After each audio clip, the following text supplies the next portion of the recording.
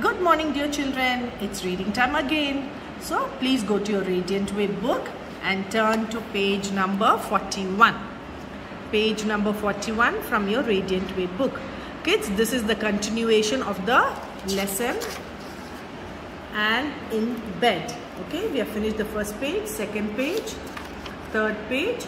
Now we are on the fourth page. Now, let us see the picture and she's not feeling well. She's in her bed. And she's covered herself with a quilt. And what else can you see? Yes her pillow. What is the color? Yes it's purple in color with white dots. And there are two side tables. Can you see? They are blue in color and two lamps. One here and one on the other side. And who is this? This is nug the robin her pet okay she's holding her pet. So that is what we have seen in the picture. Now let us read the lesson. First line keep your pointer. What is the matter? This is a question mark. Once again what is the matter? Next line i am not well and I cannot get up. Who's telling this? Anne is telling this. Okay, she's not well. I am not well and I cannot get up. I am sad and who's telling this? Wait, we'll see it later.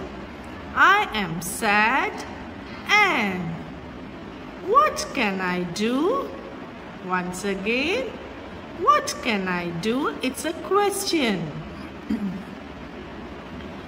Will you sing to me, Nug? Once again, will you sing to me, Nug? So Anne is asking Nug to sing for her because she's not feeling well. Yes, I will sing to you.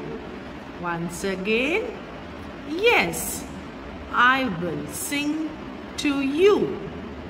Okay, the next line. In the end, Nig, Nog, Nug and Pim had to go to be fed. We'll read it once again.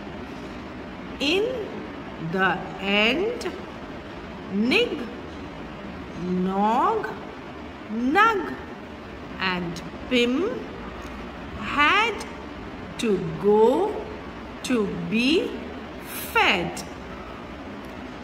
Good night and once again, good night and good night, my pets.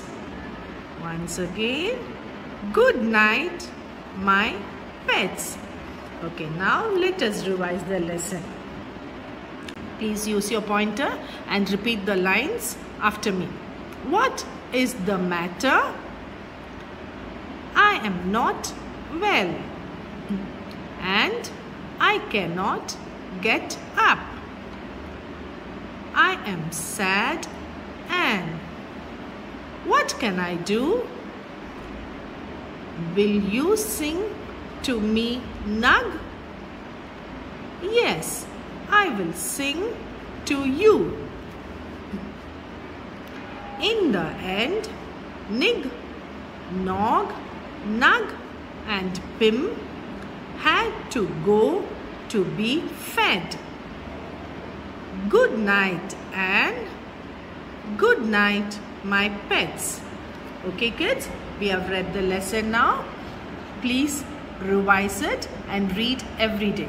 Bye bye kids.